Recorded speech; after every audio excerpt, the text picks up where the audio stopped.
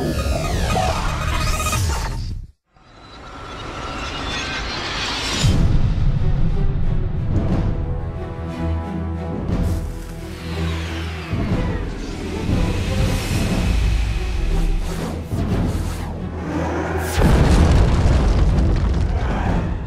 everybody, maybe you've heard, Champions Online will be going free to play in early 2011.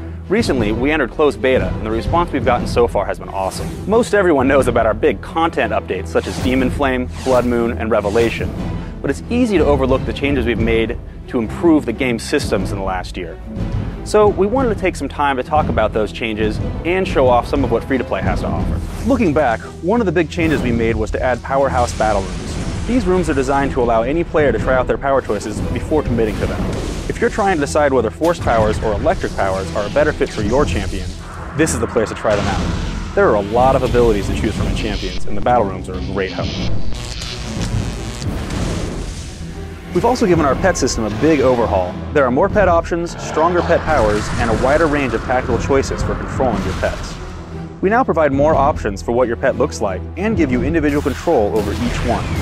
They can now follow you just about anywhere, including in the air. And with every major update, we added more parts to the costume creator. We've also added some special costume drops for completing missions and perks in the game. Any costume part you earn is unlocked for all the champions you create. There are now over 3,400 costume pieces available to players, which can be combined and colored in millions of unique ways. After launch, we also received a lot of feedback about our melee power frameworks, like Might or Martial Arts.